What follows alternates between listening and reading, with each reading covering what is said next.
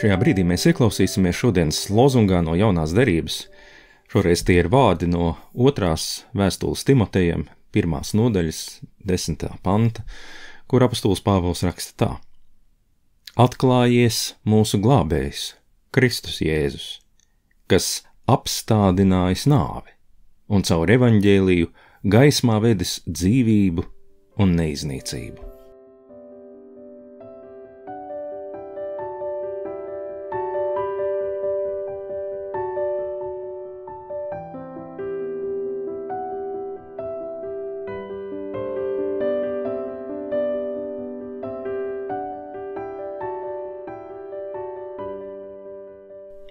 Visuvarenais un mūžīgais Dievs, Tu esi visas šīs esības un pasaules radītājs un avots. Tu esi tas galvenais un vienīgais iemesls, kādēļ vispār šajā pasaulē kaut kas ir. Tu esi tas, kādēļ šajā pasaulē pastāv arī dzīvība.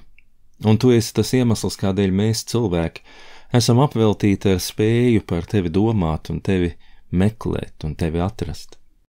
Jā, tu, kungs, esi visas dzīvības un dzīves avots. Tu esi radījis šo pasauli no nekā.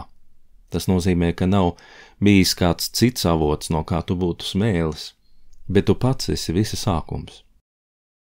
Šī doma ir lielāka nekā mēs spējam to aptvert. Tik vien mēs spējam sajust un apzināties, ka šī pasaule pastāv tāpēc, ka tu esi mums devis iespēju būt. Tu esi devis savu gaismu un savu spēku, vienlaikus arī ierobežojis savu bezgalīgo varēšanu un bezgalīgo klātbūtni, un es izveidojis noslēpumainā veidā to pasauli, kādu mēs redzam. Pasauli, kurā pilnīgi viss, arī mēs, nāk no tevis, un vienlaikus tu esi devis mums iespēju šajā pasaulē dzīvot un pieņemt lēmumus. Jā, kungs, šī ir pasaule, kura nav mūžīga tādā veidā, kā tu esi mūžīgs. Šī ir pasaule, kurā ir robežas. Visām lietām ir sākums un gals. Visas lietas atrodas pārmaiņu procesā. Tu vienīgais esi mūžīgs, bet mēs šajā pasaulē piedzīvojam nemitīgas pārmaiņas. Nekas nestāv uz vietas. Bet tu, kungs, esi mūs iedrošinājis. Tu esi ļāvis mums ieraudzīt, ka mēs nedrīkstam arī uz savu dzīvi skatīties pārāk šauri. Jā, mūsu dzīvei ir šķietami ļoti skaidrs sākums un šķietami ļoti skaidrs noslēgums. Un tomēr tu mūs aicini redzēt tālāk. Kā šodienas lozungā tas bija tik skaisti sacīts, Kristus ir nācis tāpēc pasaulē, lai apstādinātu, apturētu nāvi. Citiem vārdiem, lai neļautu tai svinēt uzvaru un visu aprīt. Jā, mēs dzīvojam pasaulē, kurā visām lietām ir sākums un gals, bet tu dod visām lietām turpinājumu. Un tā ir tava uzvara. Tu pat neesi atcēlis robežas, tu neesi atcēlis to, ka dzīve ir īsta un mēs esam īsti, bet tu esi devis mums tik ļoti nozīmīgu cerību, ka tieši šīs robežas padara mūsu dzīvi vērtīgu, bet tu esi stiprāks un pāri par visām robežām. Jā, kungs, ļauj mums šovakar to ļoti skaidri apzināties, ka šajā pasaulē nav nekādu tādu robežu, tādu notikumu, kur mums būtu jāsaka, tavs spēks nespēja tam paraudzīties un tikt pāri. Šajā pasaulē pilnīgi visas lietas ir tavās rokās. Tāpēc, tu zini, mēs lūdzam, lai mums nevajadzētu ar šīm robežām sastapties pārlieku ātri. Mēs lūdzam par mūsu mīļajiem, par mums pašiem, par cilvēkiem mums līdzās. Tu zini, kungs, ka mēs gribam izmantot šo laiku, kas mums ir dots, lai tevi iepazītu, lai tevi iemīlētu.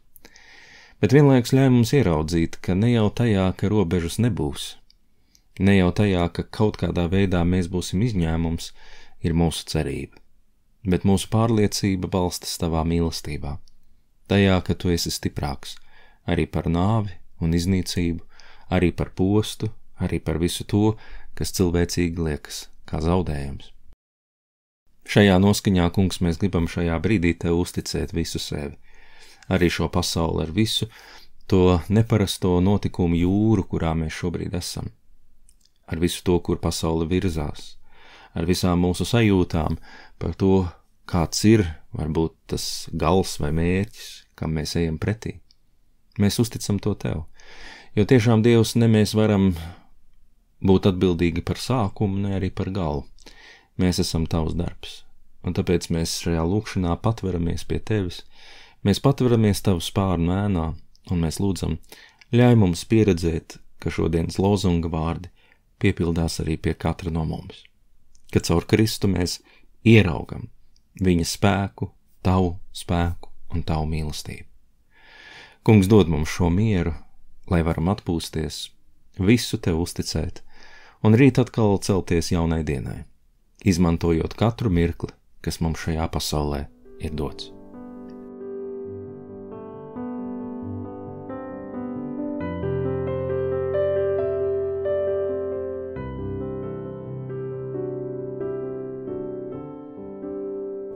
Bet pār visām lietām, kungs, mēs tevi lūdzam tā, kā Kristus mums to ir mācījis, un kā viņš pats mūsos turpina tevi uzrunāt. Mūsu Tēvs debesīs, svētīts lai top tavs vārds, lai nāk tava valstība, tavs prāts, lai notiek kā debesīs, tā arī virs zemes. Mūsu dienascho maizi dod mums šodien, un piedod mums mūsu parādus, kā arī mēs piedodam saviem parādniekiem un neieved mūsu kārdināšanā, bet atpestī mūs no ļauna, jo tev pieder valstība, spēks un gods mūžīgi mūžos. Āmen!